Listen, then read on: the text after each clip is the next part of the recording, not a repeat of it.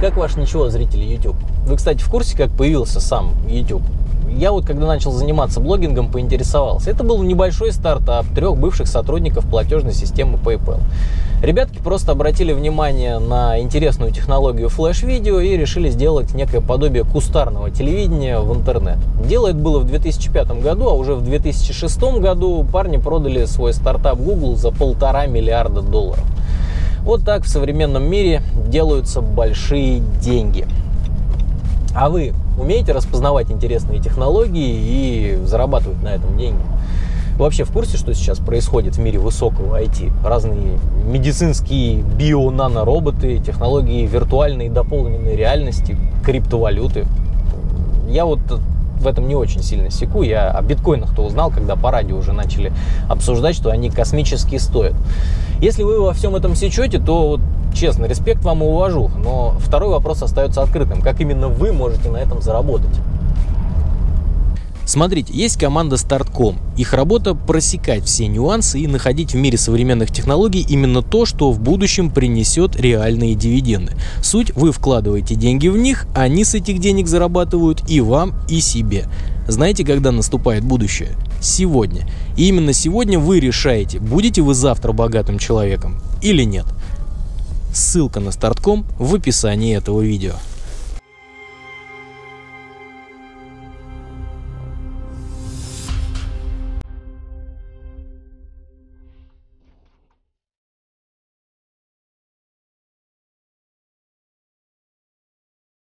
Вася? Вась, ты? Ну, вообще теперь Василиса. В рот мне шпрот! Это... Вася, да как с тобой сделалось-то? Трансгендерный переход, Сашка. Трансвисторный свет-идиот! Свистать ту люстру! Василий, ну, с тобой со школы дружили. Ты мне корешем был. Была. Мы с тобой на рыбалку вместе ездили, в баню вместе ходили. Слушай, ну что ты от меня хочешь? Ну вот такая теперь я есть. А в сауну можем как-нибудь и еще сходить. Позвони, милаш. Срать не встать. Здравствуйте, граждане. Очень давно хотел показать вам этот автомобиль. Э, нет, не так. Эту машину. Очень давно хотел показать, но каждый раз на пути у меня что-нибудь встает. В этот раз это стихия. Если в прошлом обзоре я еще кое-как мог расчистить площадочку и стоять там под мостом снимать, сейчас я даже проехать туда не могу. Все заваливает, все засыпает, все просто кошмар. На улице снимать нереально. Тут же намокну сам, намокнет аппаратура. В общем, ну придется мне вот в таком формате внутри автомобиля снимать. Ну что делать? Я парень упертый, поэтому я все-таки покажу вам это авто. Машину. А, авто оно, машина она. Ну, в общем, Nissan X-Trail.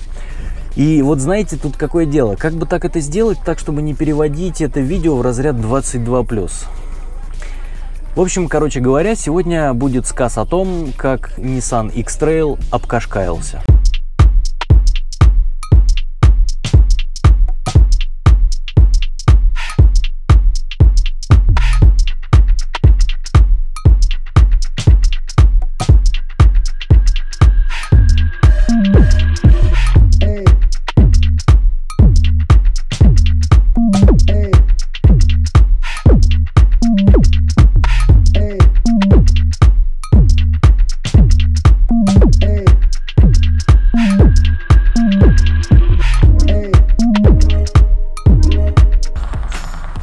Внешне машина стала пикантнее. V-образная решетка. Смотрите, какое элегантное декольте здесь в передней части автомобиля. Все линии плавные, а формы округлые. Да, в общем, чего тут говорить. Внешность стала современнее и привлекательнее, только вот хорошо ли это? Т-31, предыдущий X-Trail, производил впечатление внедорожника, хоть и был кроссовером, а теперь это подросший Кашкай. Полная переоценка ценностей.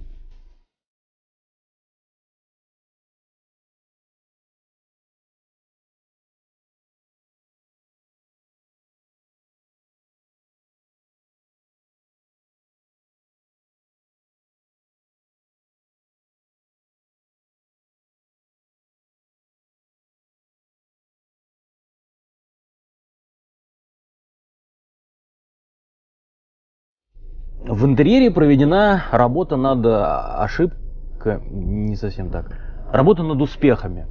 Отчасти. В предыдущем поколении Т-31, всего их три, это Т-31 второе поколение, это третье. Экран находился вот здесь, высоко, удобно. Теперь здесь дефлекторы, а экран спустили ниже, для того, чтобы водителю больше отвлекаться от дороги, когда ему нужно принять вызов или вот, например, сменить частоту радиоприемника. Давайте покороче. Тут аккуратно, современно и удобно. Интерьер, конечно, не лишен недостатков, но серьезно придраться к нему с точки зрения эргономики вряд ли получится. У нас на тесте максимальная комплектация автомобиля. Передние кресла снабжены пакетом электрических регулировок. Регулируется продольное расположение кресла, угол наклона спинки, высота посадки и есть электрически регулируемый поясничный упор. Это здорово, но конкуренты в максимальном исполнении оснащают передние кресла еще и регулировка угла подушки под колени, а у некоторых конкурентов есть еще и механическая регулировка подголовника. Здесь этого, к сожалению, нет. Руль регулируется механически в двух плоскостях. Я не нашел подогрева руля. Это не Ice. Давайте я постараюсь еще короче. Знаете, в чем основная проблема интерьера Nissan X-Trail? Машина стоит 2 миллиона, а интерьер вызывает ощущение бюджетности именно с точки зрения качества материалов. Пластик вот здесь сверху мягкий, в общем-то здесь твердый. Все так же, как у конкурентов, но на вид это выглядит дешево. И это беда. Да, здесь нет светильников, как в Nissan Qashqai, слава богу, потому что эти светильники роднят Nissan Qashqai и Lada 4 на 4. Представляете, насколько двух разных автомобилях по ценовой категории устанавливаются одни и те же в альянсе светильники. Меня это просто вымораживает. Нет, здесь этих светильников, слава богу, нет. На этом спасибо, но этого явно недостаточно для того, чтобы противостоять качеству отделки интерьеров конкурентов. Скажем, например, соплатформенник Renault Kaleos вызывает гораздо более приятное ощущение с точки зрения интерьера, чем Nissan X-Trail.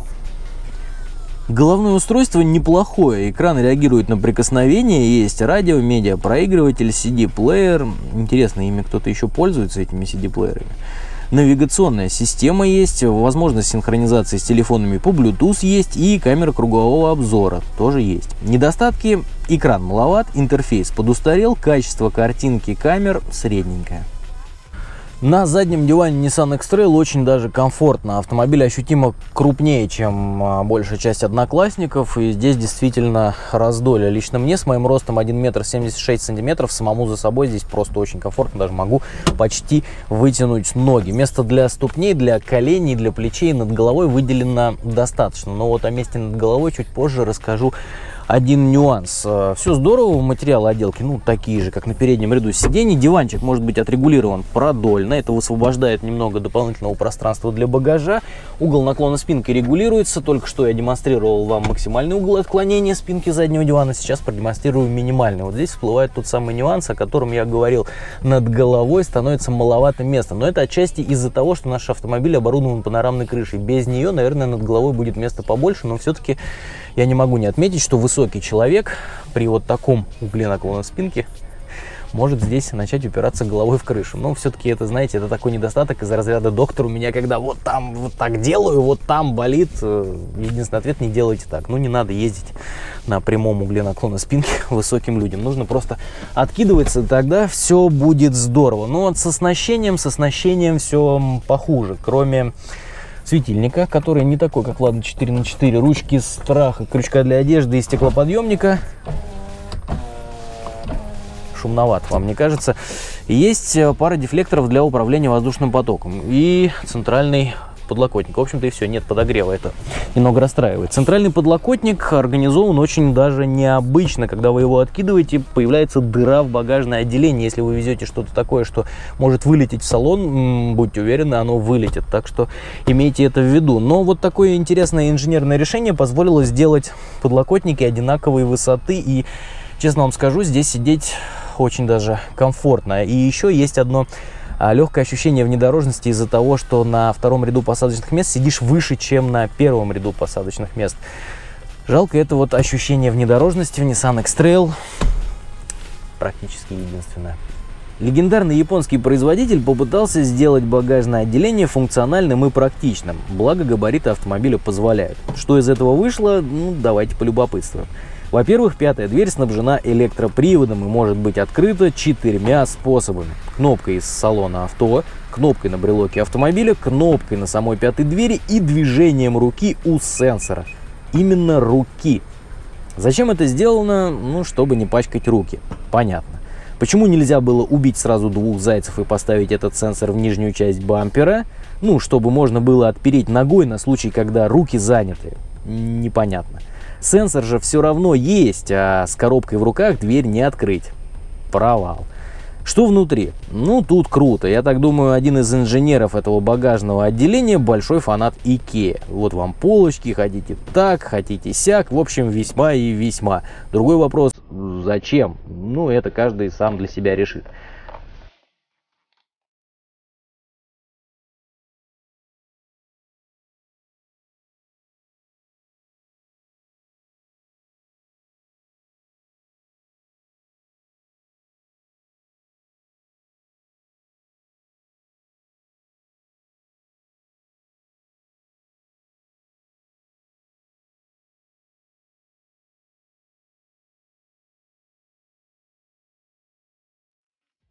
У нас на тесте X-Trail с мотором QR25D. Ну, технически это двухлитровый QR20D с другим коленвалом с ходом поршней 100 мм, короткими шатунами и другим впускным распредвалом. Такая инженерная инсинуация позволила, не меняя головку, увеличить рабочий объем до 2,5 литров. На X-Trail третьего поколения ставится и двухлитровый мотор, но не QR20D, а MR20D. Это доработанный QR20D, но речь сегодня не о нем. В общем, такое решение с увеличением объема не считается хорошим. На цилиндр, поршень и короткие шатуны увеличивается нагрузка, увеличивается износ маслосъемных колец, из-за чего может появиться проблема расхода масла.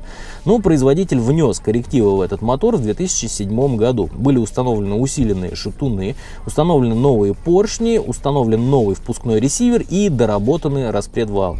Это позволило избавиться от основных проблем, на которые жаловались потребители, но я бы не рассчитывал проехать на этом моторе больше 180 тысяч. В напарнике этому двигателю положен вариатор. Конструкция коробки, назначение которой обеспечивать максимальный комфорт. Никаких рывков. Кайф. Но не забывайте молиться на него каждую среду, мало ли что. Честно говоря, X-Trail обладает достаточно незаурядными динамическими характеристиками, но конкурентам он, в общем-то, не уступает. Не могу не отметить достаточно резкую реакцию на акселератор. По ощущениям, это напоминает поведение автомобилей Subaru. Интеллектуальный полный привод очень даже неплохо реализован. Если вы думаете, что он для бездорожья, вы ошибаетесь. Давайте я вам покажу, для чего он. Вот разгон до 100 км в час на переднем приводе по снежной каше.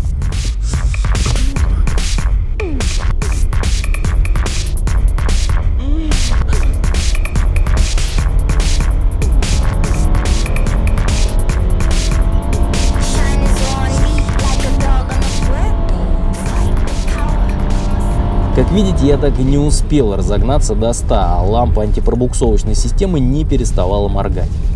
А вот все то же самое, но в режиме 4 на 4i Auto.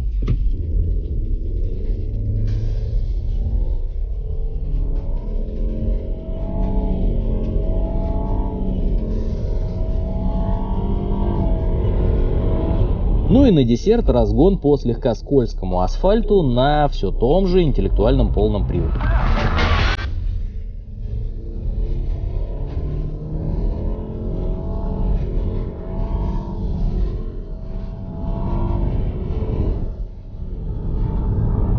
Расход топлива не велик и не мал. У меня получилось около 12,5 литров 95 на 100 километров пути в смешанном цикле.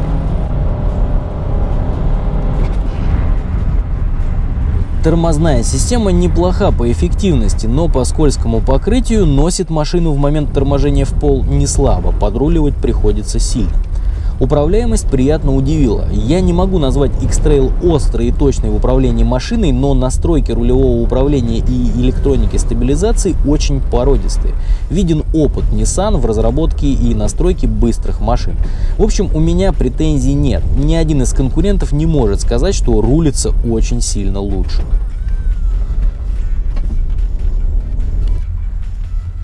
А вот в плане плавности хода X-Trail приуныл. Подвеска не сказать, что жесткая, но очень дерганая. При езде по плохим дорогам кузов не раскачивает сильно, но колебания явной рябью отдают в пятые точки всем обитателям салона. Получается обидная картина. Подвеска старается, но ехать некомфортно. трясет. В общем, жестковато и на неровностях волей-неволей приходится сбрасывать скорость и ехать аккуратнее, несмотря на энергоемкость подвески и хороший дорожный просвет в 210 мм.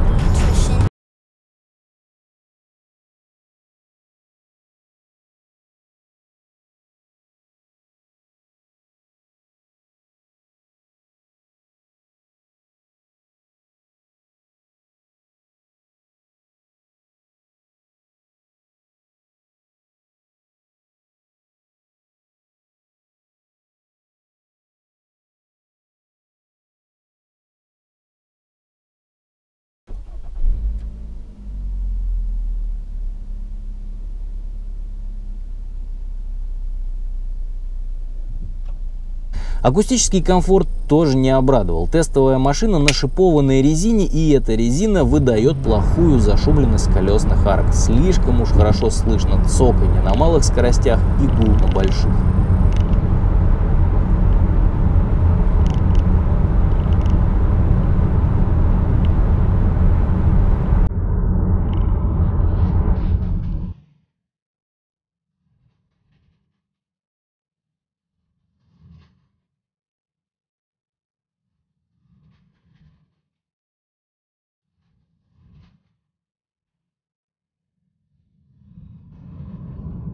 Внедорожные качества автомобиля выражены слабовато. Я бы на месте владельцев не рассчитывал на многое. Да, он идет увереннее седанов и хэтчбеков по снежной каше, но ровно до тех пор, пока под снегом что-то твердое. Внедорожное кредо X-Trail можно выразить так. Я хороший кроссовер. Что в сумме? В сумме автомобиль, в общем, показался мне неплохим. На нем приятно ездить каждый день, даже вот в плохую погоду, и в нем, в общем-то, есть все, что нужно. Мне не хватало только вот подогрева руля.